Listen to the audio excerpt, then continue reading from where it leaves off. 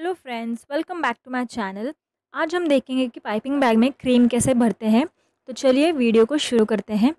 तो सबसे पहले हम लेंगे एक ग्लास। आप कोई भी ग्लास ले सकते हैं। यहाँ पे मैंने पाइपिंग बैग लिया है जिसमें मैंने नोज़ल ऑलरेडी डाल के रखा है और उसे काट भी लिया है। सो so, ऐसे हम पाइपिंग बैग को ग्लास में रखेंगे और इसमें हाथ की मदद से जगह बना लेंगे ताकि हमें क्रीम डालने में आसानी हो। यहाँ पे मैंने विपिंग क्रीम लिया है जो मैंने ऑलरेडी विप कर लिया है। अगर आपको देखना है कि इसे कैसे विप करते हैं तो इसका लिंक मैं आई बटन और डिस्क्रिप्शन बॉक्स में डाल दूँगी। आप उसे चेक कर लें। तो यहाँ पे हम थोड़ी थोड़ी करके विपिंग क्रीम को पाइपिंग बैग में डाल लेंगे। ऐसे अच्छे से इसे प्रेस करें और पाइपिंग बैग को उल्टा करते हुए इसे बाहर निकाल लें।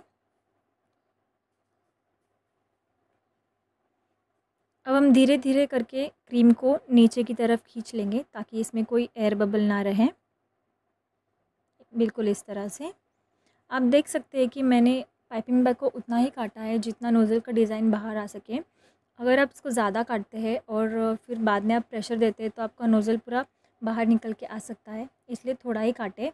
और यहाँ पे मैंने क्रीम को पूरा नहीं भरा है। उसका रीज़न ये है कि जब आप क्रीम से डिज़ाइन डिज़ाइन बनाते हैं तो आपकी बॉडी का टेम्परेचर गर्म होता है और उससे क्रीम पिघल सकती है, इसलिए थोड़ा थोड़ा ही भरे। तो आई होप आपको यह वीडियो अच्छा लगा हो। हम फिर मिलेंगे एक नई वीडियो के साथ। तब तक के लिए बाय बाय टेक केयर